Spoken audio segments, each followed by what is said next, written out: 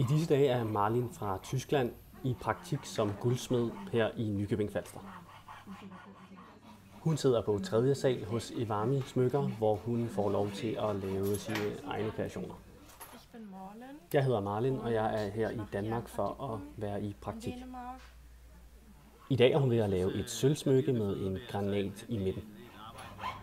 Selvom hun kun er i Danmark et par dage, har hun øh, været rigtig glad for det. Min tid her har været rigtig dejlig. Jeg øh, kom i søndags, og jeg har blandt andet set et øh, museum. Jeg vil rigtig gerne komme igen, hvis jeg fik øh, muligheden. Til dagligt er Marlin i praktik som guldsmed i nær Hamburg i Tyskland, men øh, onsdag til fredag fik hun lov at prøve kræfter med Nykøbing. Videoen er lavet og redigeret af Andreas Johansen.